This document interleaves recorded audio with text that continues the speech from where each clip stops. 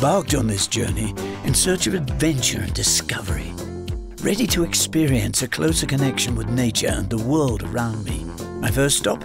Johannesburg, South Africa. As soon as I arrived, I was totally blown away by this bustling and dynamic city. With lunchtime approaching, I asked around where I could taste some truly local fare. Recommended was a place where I could try mouth-watering ostrich meat cooked to perfection. As I arrived at the restaurant, James Dyack, the restaurant owner, came to greet me with a warm and friendly smile. I was encouraged to share the purpose of my trip with him. I immediately knew I'd come to the right place. James explained how, having his own farm, enabled him to always know the source of his ingredients and to provide good nutrition and a healthy lifestyle for the animals.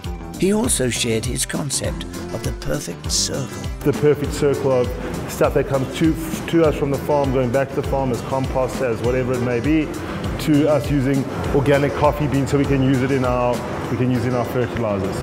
I wasn't sure what to expect. I was about to taste ostrich, the biggest flightless bird in the world. I'd read that this is a popular dish among discerning gourmet diners throughout the world. To my surprise, I noticed its meat was red, not white, as you'd expect from poultry. It proved to be absolutely delicious as promised. It had a somewhat smoky barbecue taste and was served with fresh vegetables from the restaurant farm. James paired it with a great South African Syrah.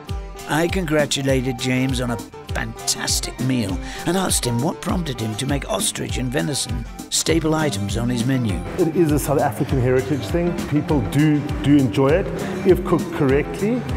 Um, and, and I think it's just, it's, it's a great flavor, it's a great flavor to add to dish. James then explained that together with venison and crocodile, ostrich belongs to a very lean and healthy category of meats, lower in fat and calories, and higher in protein and nutrients than beef, lamb, or even chicken.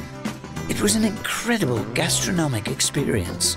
I'll continue exploring this fascinating land. This was only the beginning.